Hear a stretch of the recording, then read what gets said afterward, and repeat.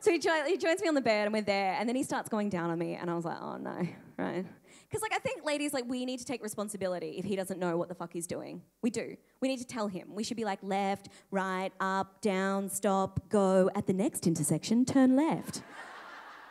We should, because maybe like we might not get an orgasm, but the next woman he's with will. So it's like a pay it forward situation.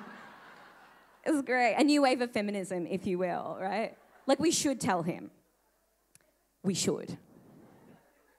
But how fucking fun is it to watch them try? You know when they're down there and they have no fucking idea what they're doing? They're like elbow, foot, their entire face, like. Are you trying to go home? What are you doing? I don't know. It's crazy. But we are thinking about a lot of shit. I know I am. When a guy goes down there, I'm like, fuck, is it too hairy? Does it smell? Did I leave any toilet paper boogers in there? Did I get them? Like, I know it's carbs, but maybe if he eats it, he might get smarter and then know how to eat my vagina, and it's just a nice circle of life. Okay, all right, Melbourne, I get it. There should be way more women laughing at that right now, okay? Be like, not me, my vagina's amazing. It's a straight white front to back every time, beautiful pussy. Bullshit, okay? Well, you see them, like all the guys now, are like, yeah, we've seen them, right? I, bet you like half the women, half the women in this audience have toilet paper in their vaginas right now. I'm just gonna put it out there.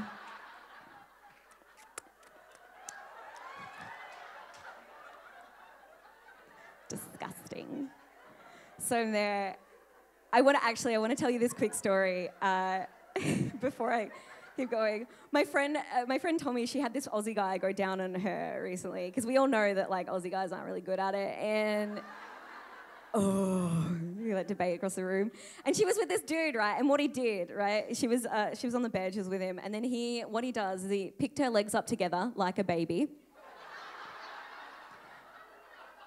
Everyone got the visual? Good, okay. Puts a little towel underneath her bottom puts her legs back down, opens her legs, gets up, gets off the bed, and walks out of the room. She's like, Where the fuck is he going? He comes back into the room with a glass of water and a spoon.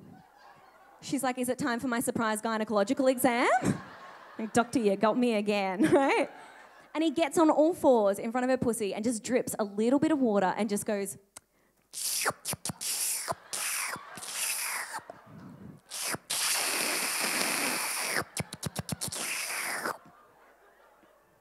And continued to do that for 30 minutes. And I don't know about you, but that, I'm sure that's better than anything I've ever seen on Netflix. I was like, where did this guy learn to eat pussy, Master Chef?